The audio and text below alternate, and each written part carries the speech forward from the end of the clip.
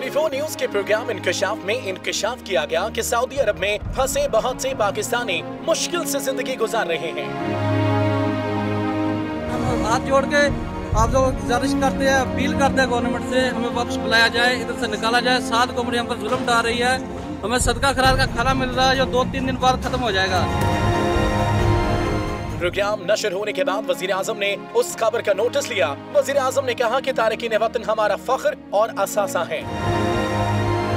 انہوں نے ہدایت کی کہ دفتر خارجہ پاکستانیوں کو ہر ممکن سہولت فراہم کرے۔ وزیر اعظم کے ہدایت پر پاکستانی سفارت خانے میں فوری طور پر سہولت سینٹر بھی قائم کر دیا گیا۔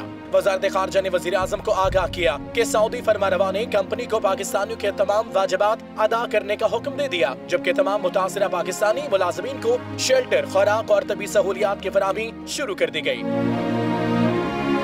وزیر اعظم کو یہ بھی بتایا گیا کہ ملازمین کمپنی میں کام نہیں کرنا چاہتے۔ ان کا ورک پرمٹ منتقل کرنے، جبکہ وطن واپس آنے کے خواہش مند پاکستانیوں کے لیے بھی انتظامات کیے جا رہے ہیں۔